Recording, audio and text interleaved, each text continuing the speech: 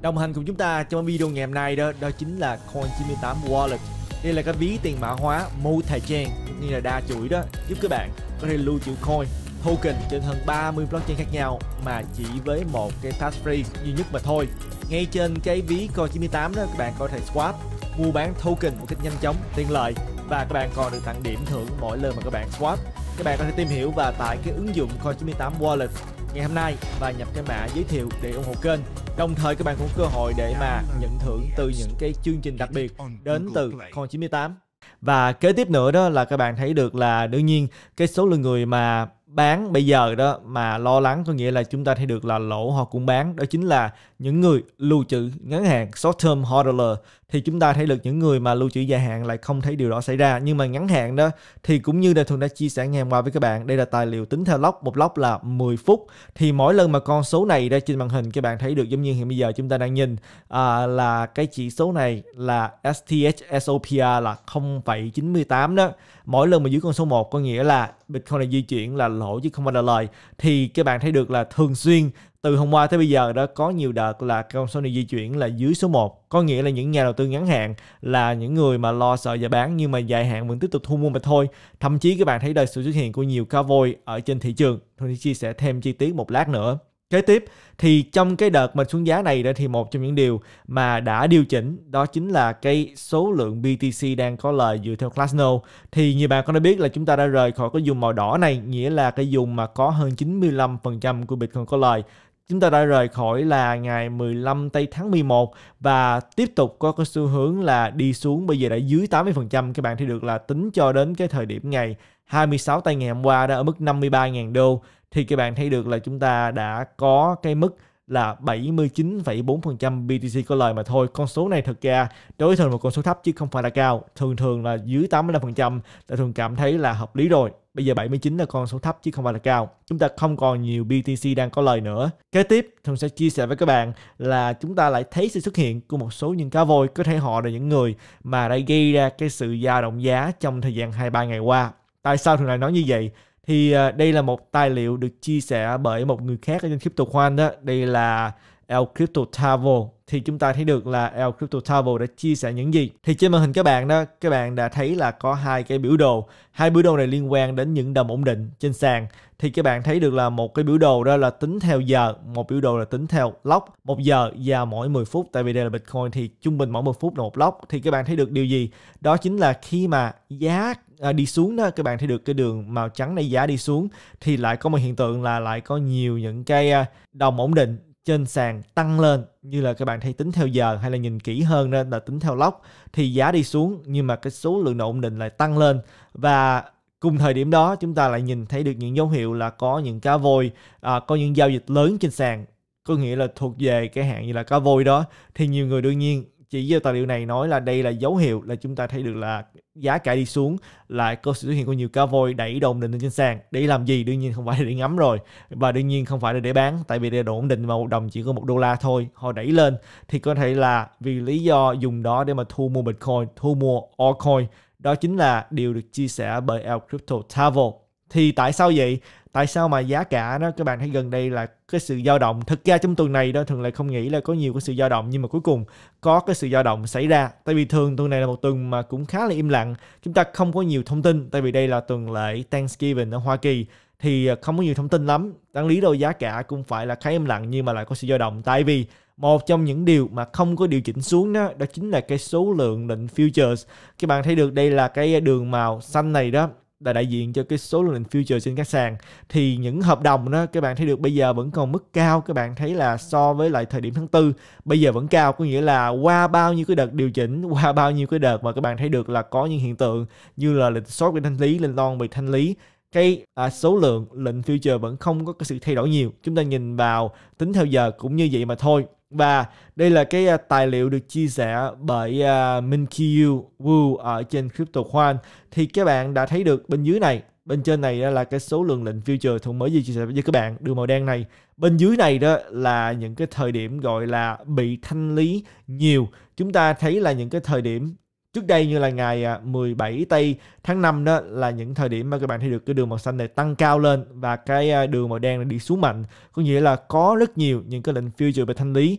Cho đến bây giờ, chúng ta thấy được từ tháng 10 tới bây giờ đó, chúng ta vẫn chưa thấy bất cứ một cái đợt thanh lý nào gọi là lớn hết gần đây chúng ta có những cái đợt mà lệnh short hay lệnh long về thanh lý đó là các bạn thấy được là cái số lượng là khoảng chừng là 600 triệu 700 triệu như là ngày hôm qua thường chia sẻ với các bạn. Tuy là đây không phải con số nhỏ, nhưng mà nếu nói là những ngày mà bị thanh lý nhiều đó là hơn một tỷ. Cho nên đây vẫn là một cái à, mối lo ngại đối với nhiều người. Tuy là các bạn thấy được là đã có ít bitcoin hơn có lời, nhưng mà một mối lo ngại khác mà vẫn chưa có cái à, sự giải quyết bây giờ vẫn chưa làm cho thuận và một số bạn cảm thấy thoải mái hơn đó chính là vẫn còn rất nhiều lệnh futures. Lúc nào chúng ta cũng có cái nguy cơ là bị thanh lý nhiều. Nhưng mà một trong những điều các bạn hiểu đó là từ hồi tháng 5 tới bây giờ đó thuận lại không thấy uh, cái sự ao ạt đổ đến từ những nhà đầu tư mới. Thường là các bạn thấy là nếu như mà nhiều nhà đầu tư mới đó cái sự dao động nó sẽ mạnh hơn. Tại vì những nhà đầu tư mới đó, thì cái vị thế của họ sẽ không có tốt bằng những nhà đầu tư cũ. Cho nên mỗi lần có chuyện gì họ sẽ lo sợ hơn là những người cũ. Thì có thể là cái số lượng định futures này đó được lưu trữ bởi những người mà đã lưu trữ trong vòng nhiều tuần qua hay là thậm chí là mỗi tháng qua. Cho nên có thể là họ có vị thế tốt cho nên họ vẫn chưa có lo sợ ở những cái mức giá như thế này cho nên chúng ta vẫn thấy được là cái mức mà họ bắt đầu.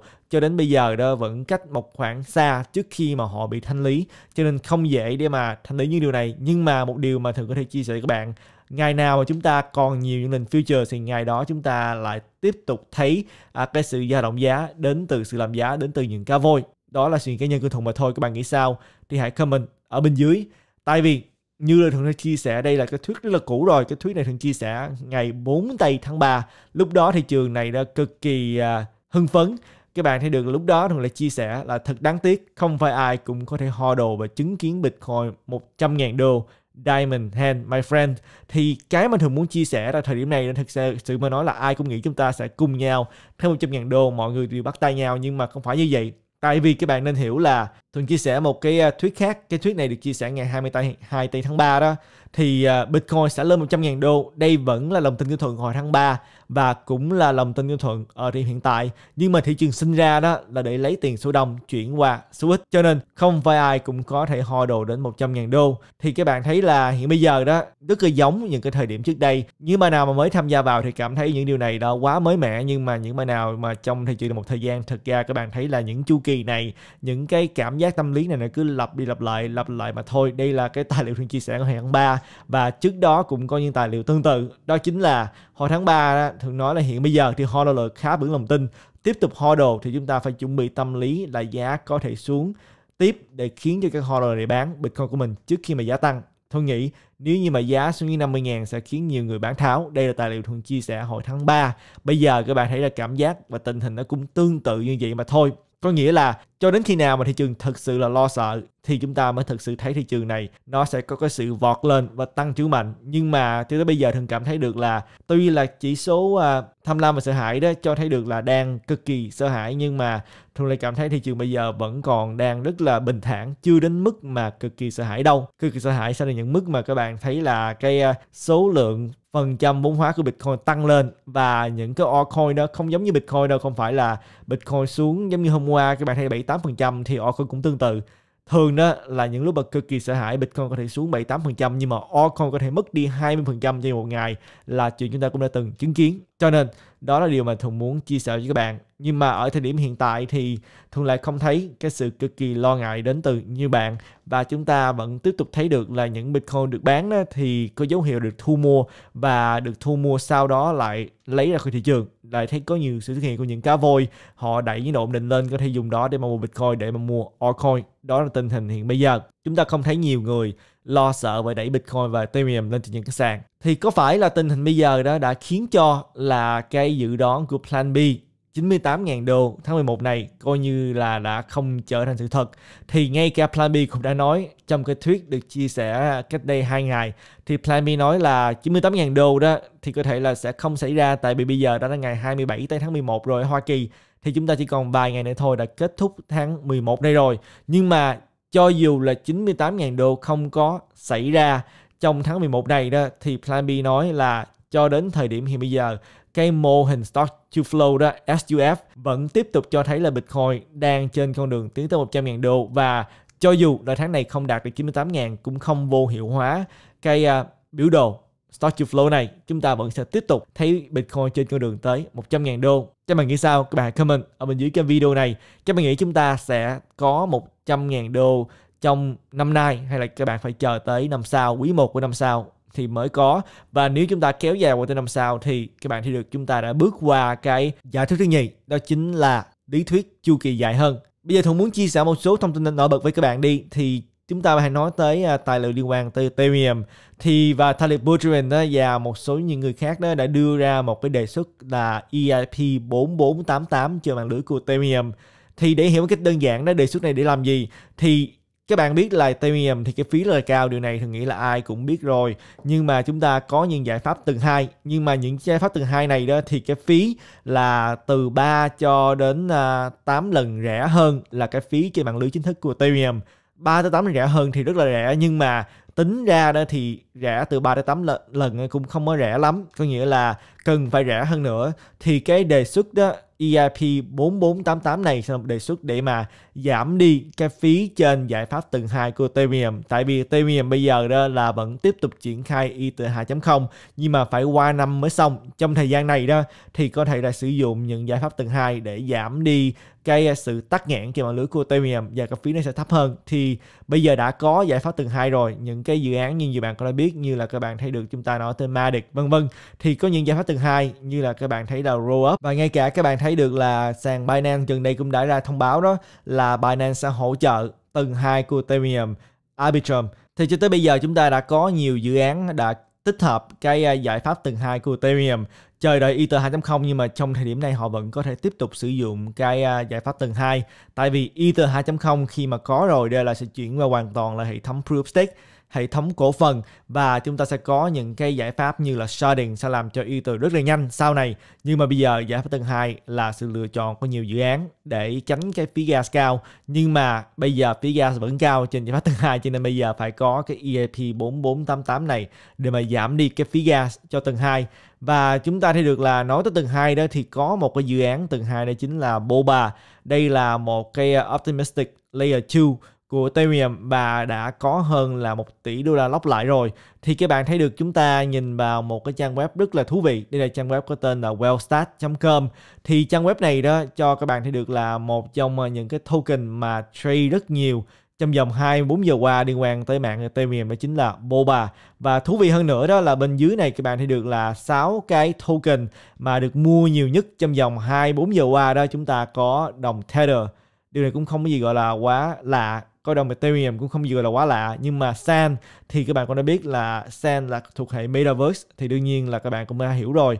Tại sao là như vậy? Các bạn thấy được Shiba Inu ship cũng là một trong những đồng mà được mua nhiều trong vòng 24 giờ qua.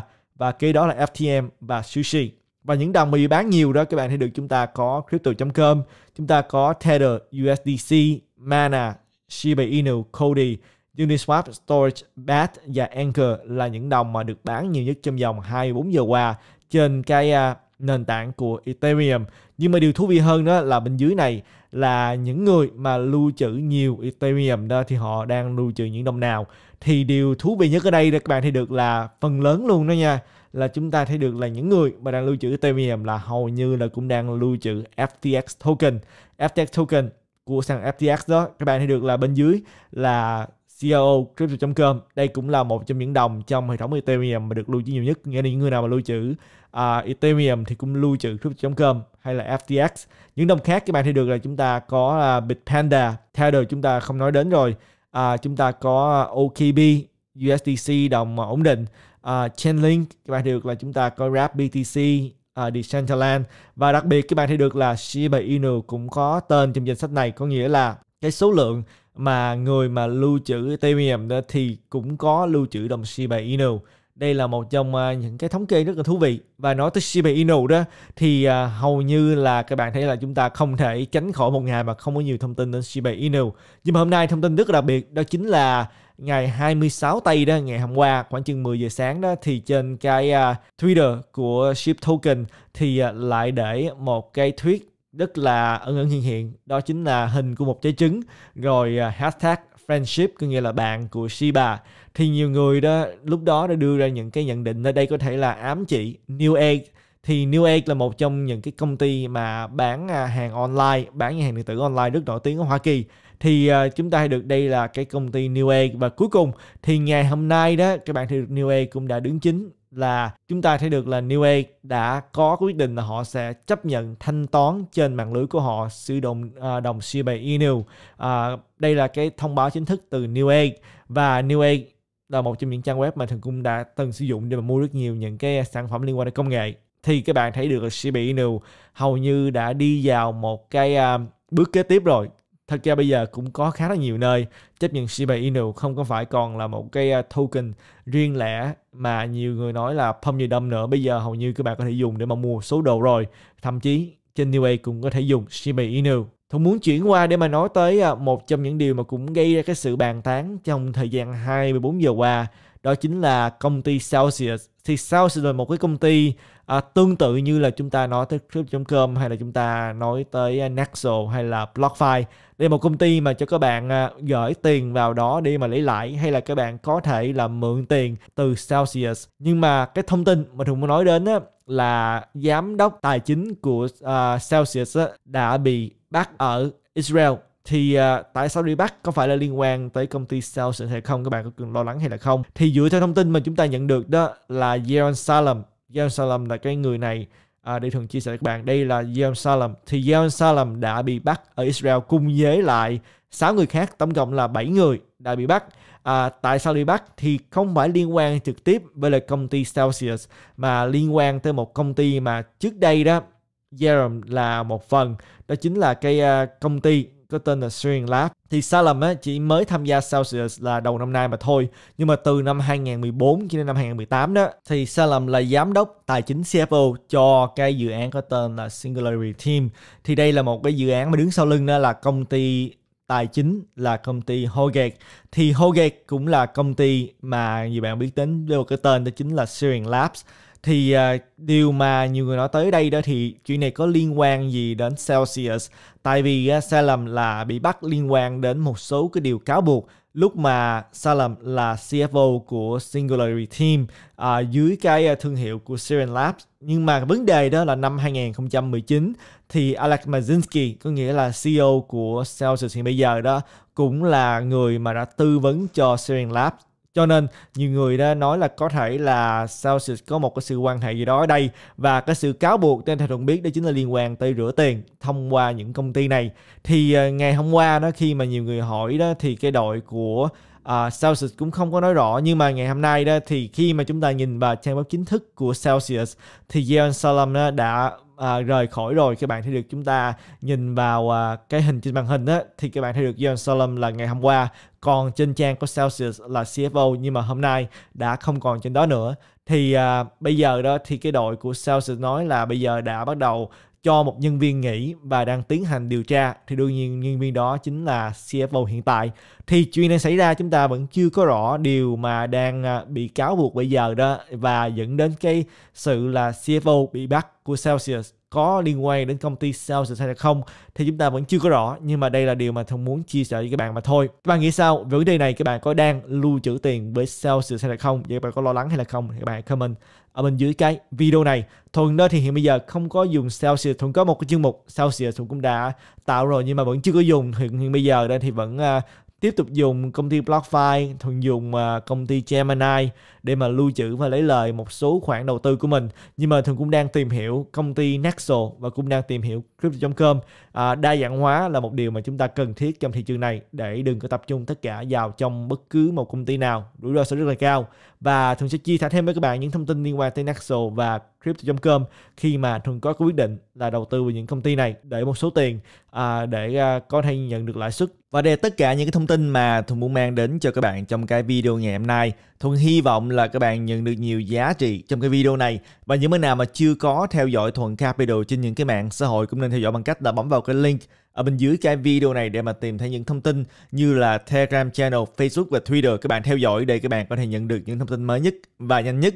Và những bạn nào mà muốn tìm hiểu những cái ưu đãi dành riêng cho cộng đồng của Thuận Capital thì có thể tìm hiểu bằng cách là bấm vào cái link ở bên dưới cái video này để mà tìm thấy những cái ưu đãi như là các bạn có thể được giảm 20% cái phí giao dịch khi mà tham gia vào sàn Binance, cũng như là được giảm 5% cái phí giao dịch khi mà tham gia vào sàn FTX và những bạn nào mà muốn nhận những cái bonus để tham gia vào những sàn như là sàn Fashion Moon XBT hay là các bạn có thể tìm hiểu bonus đến từ sàn Bybit và hiện bây giờ đó, sàn Bybit có một cái bonus, đó chính là lên tới tối đa là 3.500 đô khi mà các bạn nạp tiền lần đầu tiên, cũng như là các bạn được giảm 10% cái phí giao dịch tháng đầu tiên. Những sàn như là Bybit hay là MoonXBT các bạn có thể bấm vào cái link màu vàng ở trên màn hình để tìm hiểu group tín hiệu trade miễn phí, cũng như là những sàn như là sàn MarginFX và những người nào mà sống ở Hoa Kỳ đây thì có thể tìm hiểu những sàn như là sàn Binance US hay là sàn Coinbase, cũng như là ứng dụng BlockFi đây là ứng dụng lending có lại các bạn vẫn có thể nhận được bonus lên tới 250 đô và đương nhiên Crypto Khoan, rất nhiều bạn đã quen thuộc rồi đây là cái ứng dụng hỗ trợ biểu đồ và phân tích dữ liệu on-chain một lần nữa, Cảm ơn các bạn dành thời gian để mà xem cái video ngày hôm nay và Thuận sẽ hẹn gặp lại các bạn trong cái video kế tiếp. Tạm biệt các bạn.